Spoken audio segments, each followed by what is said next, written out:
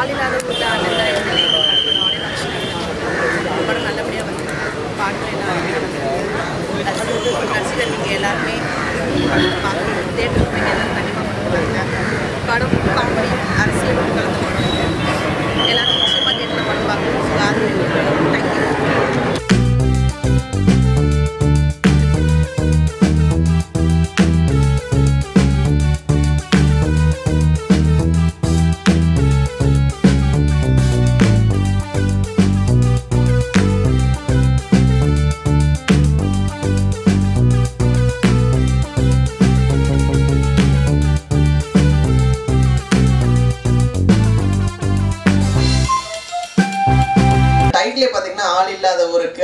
தான் எம்எல்ஏ இப்போ இருக்கிற இளைஞர்கள் எல்லாமே இயக்குனர்கள் வந்து என்ன பண்ணுறாங்க எயிட்டிஸ்லலாம் பார்த்தீங்கன்னா ஒரு சின்ன பேஸ் இருக்கும். அதுக்குள்ளேயே தான் கதை சுற்றி சுற்றி வரும்.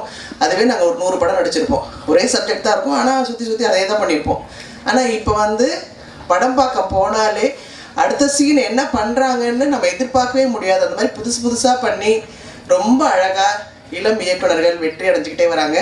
அவங்க அத்துணை பேருக்கும் பகவதி பாலா அவர்களுக்கும் சேர்த்து வாழ்த்துக்கள். எல்லாருக்கும் வணக்கம். இங்கே வந்திருக்கக்கூடிய இருக்க பெரியவங்க எல்லாருக்கும் வணக்கம். இன்னும் யார் யாருன்னு பேர் எல்லாருக்கும் தெரியல. ஏன்னா இங்கே வந்திருக்கிறவங்கெல்லாம் பெரிய படம் பண்ணி சாதித்தவங்க எங்களுக்கு இதை பற்றி எதுவும் தெரியல. இருந்தாலும் இவங்களை நம்பி தான் நாங்கள் இதில் எல்லோரும் இறங்கணும். இங்கே வந்திருக்கிறவங்க பெரியவருங்க தாய்மார்கள் எல்லாருக்கும் வணக்கம். ஹீரோ ஹீரோயினும் நல்லா பண்ணியிருக்கிறாங்க. நம்ம தேவா சார் நல்லா இதில் பாடியிருக்காரு. இப்போ புதிய பாட்டு நல்ல பாட்டாகவே பாடியிருக்காரு. அவருக்கு ஒரு நன்றி சொல்லிக்கிறேன். அதே மாதிரி ஜாக்கோ படம் பாக்கியராஜ் ஐயா படம் எடுத்த மாதிரிலாம் இப்போ எடுக்கிறது கஷ்டம். இருந்தாலும் கொஞ்சம் கொஞ்சமாக எல்லாம் வளர்ந்துக்கிட்டு வராங்க. அவங்க படம்லாம் வந்துட்டால் நாங்கள்லாம் போய் மொதல் ஆட்டத்துக்கு போகிறது பார்த்து ரெண்டாவது ஆட்டத்துக்கு போய் உட்காந்து பார்த்துட்டு வருவோம். அந்த ஒவ்வொரு கருத்தும் வச்சுருக்குறோம் அதில். பாலா சார் வச்சுருக்காரு.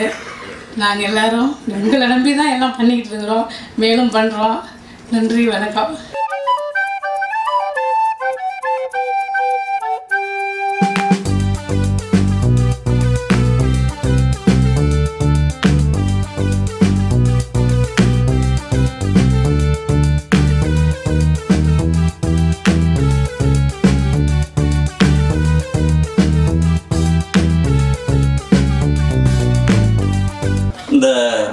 ஃபங்க்ஷன் முன்னாடி நானும் ஜாகவர் தங்கமும் ரூமில் உட்காந்து பேசிக்கிருந்தோம்.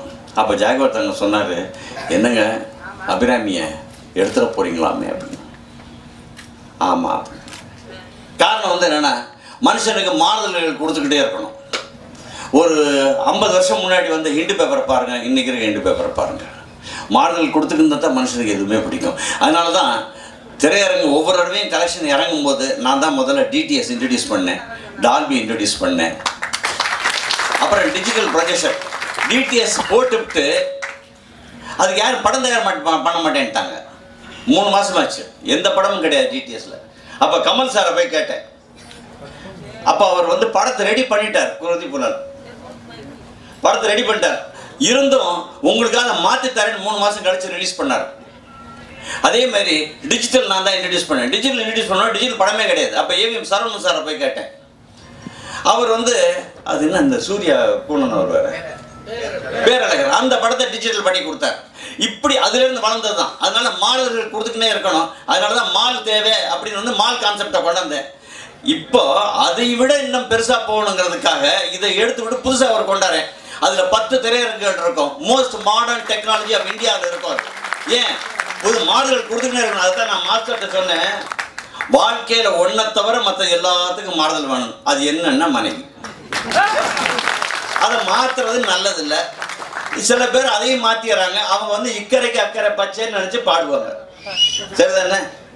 அதனால இந்த ப்ரொடியூசரை பொறுத்த வரைக்கும் நான் நன்றி சொல்ல வேண்டியதா இருக்கேன். ஏன்னா எங்களுடைய சினிமா திரையரங்களை காப்பாற்றுவது சின்ன படங்கள் தான். ஒரு தியேட்டருக்கு 52 ரெண்டு வாரம் ஐம்பத்தி ரெண்டு வாரம் அதான் ஒரு ப்ரொடியூசர் நாலு வருஷம் படம் எடுக்காம இருக்கலாம். ஒரு டிஸ்ட்ரிபியூட்டர் படமே வாங்காமல் இருக்கலாம் ஒரு நடிகை நடிக்காமல் இருக்கலாம். ஆனால் திரையரங்கை பொறுத்தவரை ஒவ்வொரு ஷோவும் ஓட்டி ஆகணும். ஓட்டி ஆகணும்னா வருஷத்துக்கு 52 ரெண்டு வாரம் இருக்கு. 52 ரெண்டு வாரத்துக்கும் பெரிய படத்துக்கு நான் எங்கே போகிறது கிடையாது. இப்போ எவ்வளோ பெரிய படம்னாலும் நாலு வாரத்துக்கு மேலே ஓடலை. மிச்சம் நாற்பத்தெட்டு வாரத்துக்கு நான் எங்கே போகிறது அப்படி இருக்கல எங்களை காப்பாற்றுறது இந்த சின்ன படங்கள் தான். வந்து உனக்கெல்லாம் இப்பெல்லாம் டேட்டு கிடையாதுப்பா அப்படின்னாரு. ரொம்ப இழுத்துக்கிட்டே இருந்தார். ஒரு நாள் போய் நம்ம கிட்ட சொன்னேன். எனக்கு அப்போ அவங்க பழக்கம் கிடையாது. ராமராஜன் தான் நல்ல ஃப்ரெண்டு இது மாதிரி இழுத்துட்டே இருக்கிறாரு அப்படின்னு சொன்னேன். என்ன விஜய் முரளி நீங்கள் போய் டேட்டை குறிச்சிட்டு வாங்க நான் ஆச்சு அப்படின்னாங்க. மூணு டேட்டு குறித்து கொடுத்தேன். ஒரு டேட்டு ஓகே பண்ணி பூஜைக்கு ஓகே பண்ணிட்டாங்க. பூஜை இன்னைக்கு முதல் நாள் சிங்கப்பூருக்கு டிக்கெட் போட்டார் அந்த மேனேஜர் இந்த பூஜையில் கலந்துக்கூடாதுன்ட்டு. இந்த விஷயம் கேள்விப்பட்டு அந்த அம்மா சத்தம் போட்டு பூஜையை முடிச்சு ஷூட்டிங் முடிச்சு தான் போகணும்னு சொல்லி பண்ணாங்க. அதனால் இந்த சபையில் வந்து அவங்களுக்கு இந்த நேரத்தில் நன்றி தெரிவிச்சுக்கிறேன். ஏன்னா இப்போ சொல்லும்போது சொன்னாங்க அவங்கள மாதிரியே அவங்க உள்ளமும் பெருசு. ரொம்ப பரந்த மனசு அவங்களுக்கு. உதவுற மனப்பான்மை உள்ளவங்க. ஏன்னா நான் அந்த வீட்டில் ஒருத்த மாதிரி அடுத்தது வந்து தேவா சார் தேவா சார் எப்படின்னா நீங்கள் நம்பி எந்த அமௌண்ட் இருந்தாலும் எடுத்துகிட்டு போய் அவர்கிட்ட ரெக்கார்டிங் உட்காந்துக்கலாம் இப்போ நான்லாம் படம் எடுத்ததுக்கு அவரும் ஒரு காரணம். எங்கள் படத்துக்கு ஒரு பெரிய மியூசிக் டேரக்டர் ஃபிக்ஸ் பண்ணோம் டேட் இல்லை.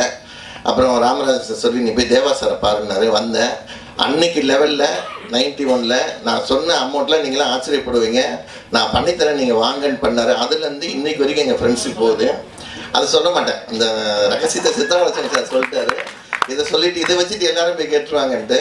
அதுக்கப்புறம் போக்கிற தம்பிலேருந்து இன்னைக்கு ஏழு எட்டு படம் அவரை வச்சு நான் ப்ரொடியூஸ் பண்ணிட்டேன். ஸோ அவர் எப்படின்னா நம்ம கவலையை மறக்கிறதுக்கு சார் சித்ரா சார் சொன்ன மாதிரி அங்கே போய் உட்காந்தோம்னா ஜாலியாக பேசுவார். இன்னமும் அவர் வந்து பதினெட்டு வயசு டீனேஜ் தான் அவர். நீங்கள் நமக்கு தெரியாத விஷயங்கள் நல்ல வார்த்தைகள்லாம் பார்த்தீங்கன்னா இந்த மெட்ராஸில் பார்த்தீங்கன்னா இந்த கானா பாட்டுக்கு நிறையா வார்த்தைகளை உருவாக்கி கொடுத்ததே தேவா சார் தான். கானா பாட்டுக்கு இவ்வளோ பெரிய ஃபேமஸ் பண்ணது அவர் தான். இன்றைக்கி எல்லாம் டிவி அது இது நிறைய பேர் வந்துட்டாங்க பாடகர்களில். அதனால் தேவா சார் வந்து இந்த படத்துக்கு மியூசிக் அமைச்சது இது ரொம்ப சந்தோஷம். ஏன்னா அதே மாதிரி நல்லியம்மா போய் இவங்க மீனாட்சி அம்மாட்டையும் ராமதாஸ் சார்ட்டையும் சொல்லி வாழும் தெய்வம்னு ஃபஸ்ட்டு படத்தில் என்ன அவங்ககிட்ட அறிமுகப்படுத்தி பிஆர்ஓ பண்ணாங்க. இன்றைக்கி வரைக்கும் தொடருது. ஸோ இப்போ தேவா சார் வந்து ஒரு ஏன்னா இப்போ தமிழ்நாடு ஈழசி நாடாளுமன்ற தலைவராக இருக்கிறாரு. முத்திரை பதிச்ச காரில் தான் வர்றாரு. அது அவருக்கு ஆண்டவன் கொடுத்த கிஃப்ட்டு கண்டினியூவாக எந்த கவர்மெண்ட் வந்தாலும் அவர் தான் இனிமேல் இருப்பார் போல இருக்கு அவரை வந்து வாழ்த்தி பேச அழைக்கிறோம். சினிமாவில் வந்து எல்லாமே கஷ்டமான தொழில் தான் எல்லாமே கஷ்டம்தான். யார் ஒருத்தர் அதை இஷ்டப்பட்டு கஷ்டப்படுறாங்களோ அவன் தான் பெரிய ஆளாக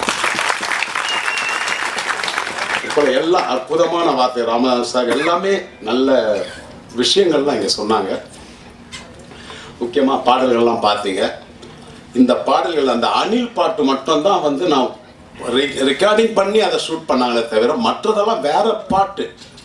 அந்த பாட்டை திரும்பி அந்த லிப் மூமெண்ட்டுக்கு ஏற்ற மாதிரி பாட்டு பண்ணுறது ரொம்ப கஷ்டமானது தான் ரொம்ப கஷ்டம். அதாவது வேற பாட்டு அது. அந்த பாட்டுக்கு நான் வேற டியூன் போட்டு பாட்டு பாட்டு அமைச்சு அதே மோஸ்ட்லி அதே லிரிக்ஸ் தான். அதை வச்சு வேற ராகத்தை போட்டு அதில் செட் பண்ணது ரொம்ப கஷ்டம். அவ்வளோ அழகாக அவர் படம் பண்ணியிருக்காரு. அனில் பாட்டம் கேட்டோம் ரொம்ப நல்லா இருக்கு. அற்புதமாக பண்ணியிருக்காங்க. சார் அகிராம் சார் சொன்ன மாதிரி அந்த ஃபோட்டோகிராஃபி ரொம்ப ரொம்ப நல்லா பண்ணியிருக்காங்க. குளுமையாக இருக்குது படம். அதில் அனிதாவை பற்றி சொல்லணும். ரொம்ப ஒரு துரு ஒரு அதாவது எய்ம்ன்றது வந்து ரொம்ப முக்கியம். அது தான் நினைக்கிற ஒரு வேலை நான் நினச்சி ஆசைப்படுற ஒரு வேலை நமக்கு கிடைச்சிட்டாவே போதும். அதுதான் நம்ம செஞ்ச பாக்கியம். அது மாதிரி அனிதா நடிகையாகனு ஆசைப்பட்டாங்க. நல்லா இப்போ நடிக்கிறாங்க. நிறைய அஞ்சாறு படம் நடிச்சுக்கிட்டு இருக்காங்க இப்போ. அதே மாதிரி ப்ரொடியூசர் சார் சொல்லணும் ஐயாவை சொல்லணும். ப்ரொடியூசர் இல்லைன்னா பத்தாயிரம் குடும்பம். இப்போ சார் சொன்ன அபிராமி நாமன் சொன்னார் இல்லைங்களா? அது உண்மையான விஷயம்.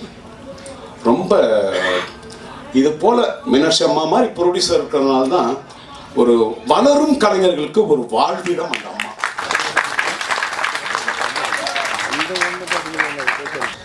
இந்த டைட்டில் கேட்ட எனக்கு கருக்குனது. என்னென்ன ஆள் இல்லாத ஊரில் அண்ணன் தான் எம்எல்ஏ அப்படின்னு சொன்னோன்னே பகவதி பாலா யாரை சொல்கிறாரு எல்லாரும் புதுசாக கட்சி ஆரம்பிச்சிருக்காங்க. இவரா இருக்குமோ அவரா இருக்குமோ அவரா இருக்குமோ யார் மேலேயோ மைண்டில் வச்சுக்கிட்டு ஏன்னா இன்னைக்கு நிறைய அந்த டைட்டில் பொருந்து நிறைய பேருக்கு ஆள் இல்லாத பொருள் அண்ணன் தான் எம்எல்ஏன்னு சொல்றது நிறைய பேர் என்ன ஆளாளு கட்சி ஆரம்பிக்கிறாங்க இல்லையா?